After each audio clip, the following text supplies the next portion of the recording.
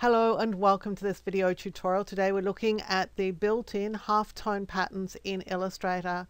Before we begin, however, I have more Illustrator training at Skillshare.com. When you sign up for Skillshare, you get access to thousands of classes there, including over 250 of mine. I have a coupon for you in the description below. This is at least as good as the current Skillshare offer and typically mine will be better. I also have Illustrator training for purchase at udemy.com and I've given you a referral link for every one of these courses in the description below. Please feel free to share these with family, friends and co-workers. Let's swing back to Illustrator. I'm going to create a brand new file. Mine's going to be 1920 by 1080 pixels in size, but you can create yours whatever size that you like. I'm going to add a rectangle that is the size of my artboard. So I'll go with the rectangle tool, click once, type in 1920 by 1080, click OK. I'm going to center this up on the artboard and I'll fill it with black for now and just remove the stroke. So now we need to look for the patterns that are shipped with Illustrator. You'll get those by going to the swatches panel. Now one thing about the swatches panel is that it depends on how you have it set up what you see here. And typically what I like to do is to go to this show swatch kinds menu drop it down and choose show all swatches. That way you'll get to see all your swatches including gradients patterns and these colors at the same time. Just makes things a little bit easier to get access to the built-in halftones in Illustrator, you'll go here to the Swatch Libraries menu, click it and go up and select Patterns and then Basic Graphics and then Basic Graphics Dots. These are the halftone dots patterns. Now a lot of these are just dot patterns but there are some halftones here and you can see them in the dialog. They're these little ones here that look a bit different to the others. We're going to select one of them but there are a number that you can choose from. I'm selecting this one because it's a little bit easier on the eye and I don't want to make you feel sick as we're working here. As soon as you click on any one of these patterns, they're automatically added to the swatches panel. And so you can go ahead and close these swatches and just work from the swatches panel from now on. I'm going to close that because we don't need it. Now right now you can see that the pattern is repeating twice and that's going to be pretty typical of these halftone patterns. So we need to make it bigger to fit better. I'll choose Object, Transform and then Scale. Be sure to turn Preview on so you can see what's happening and disable Transform Objects. I'm just going to take this back to 100% because that would be the default. What we're going to do is transform this pattern and we're going to do it in a uniform way so we don't make the dots into ovals for example. I'll click here and start pressing shift and up arrow. So I'm just making this pattern bigger. Now if you go all the way to try and fit the pattern in the dialog, let's have a look and see what happens. Down here we've got really big dots and up here we've got little dots. So in actual fact there are some dots between this dot size and this dot size and we're missing out on them. So I'm going to bring this down a little bit.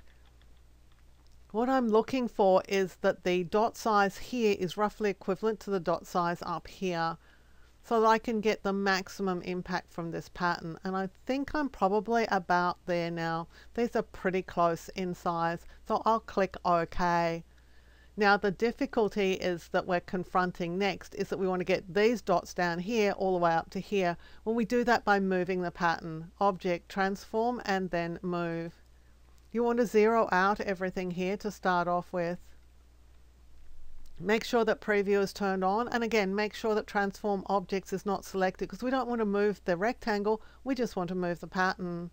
And we're going in a vertical direction and we're going in a positive vertical direction. So I'm holding the shift key as I'm pressing the up arrow key just to move this pattern down so that I can get a nice set of half tone dots here and I can continue to move. There's a little bit of leeway. I didn't get my dots exactly the same size at the bottom and the top and that's just fine. It's close enough. But now we get a good half tone pattern in our document. Now you can use this inside circles as well or any other shape. Let's just go and get an ellipse.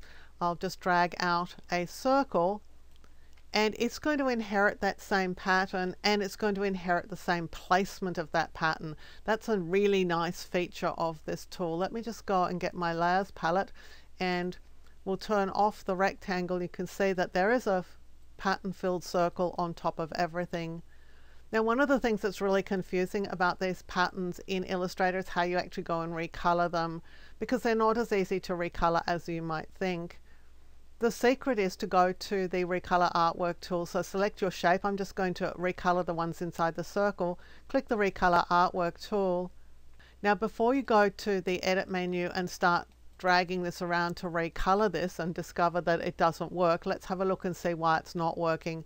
We'll go back to assign and the problem is this little icon here, the little dash. We need to make it into an arrow and you do that by just clicking on it.